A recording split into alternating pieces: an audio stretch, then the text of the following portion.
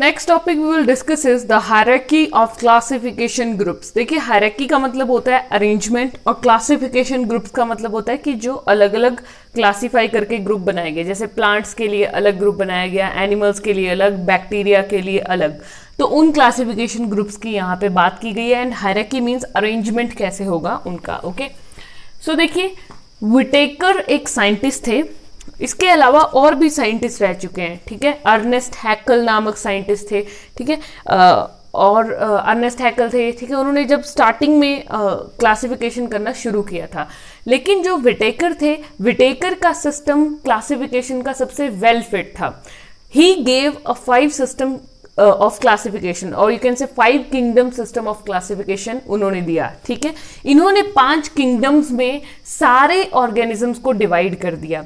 इन्होंने कहा कि पहला किंगडम हम ले सकते हैं Monera second is Protista third is Fungi fourth is Plantae and fifth is Animalia ये पाँच किंगडम इन्होंने क्लासिफाई कर दिए। डिस्कस करेंगे डिटेल में क्या होते हैं okay okay? Now what was the basis of this classification Whittaker ने क्या सोचकर क्या चीज़ uh, के बेसिस पे इनको क्लासिफाई किया कि ये प्लांटी है ये Monera what were the basis so first basis is cell structure Whittaker ने सेल का स्ट्रक्चर स्टडी किया एनिमल का स्टडी किया प्लांट का स्टडी किया बैक्टीरिया का तो सभी सभी का सेल का स्ट्रक्चर जो है वो डिफरेंट था. इसलिए पहला बेसिस ऑफ़ क्लासिफिकेशन हो गया cell structure second one is mode and source of nutrition, कि न्यूट्रिशन कहाँ से मिलता है? ये भी एक बहुत इंपॉर्टेंट फैक्टर है। देखिए बैक्टीरिया का न्यूट्रिशन प्रोवाइड करने का तरीका खुद को अलग है। एनिमल्स का डिफरेंट है और प्लांट्स का बिल्कुल डिफरेंट है। So mode of nutrition second criteria था।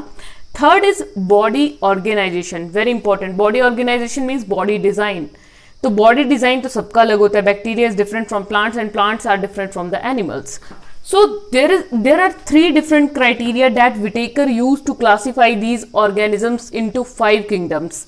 Now further classification is also done into some subgroups. कुछ subgroups बनाए गए और उसमें individuals को classify so these are seven sub groups very important आपने इनको सीक्वेंस वाइज ही रिमेंबर करना है सो फ़र्स्ट वो किंगडम किंगडम एक पहला सब ग्रुप था और किंगडम कितने थे पाँच फाइलम और division. Phylum is also known as division बिल्कुल सीक्वेंस में याद करने, आगे पीछे नहीं करने। Third is class fourth order fifth family six genus and seventh क्या था? स्पीशीज देखिए, ये जो स्पीशीज है, ठीक है?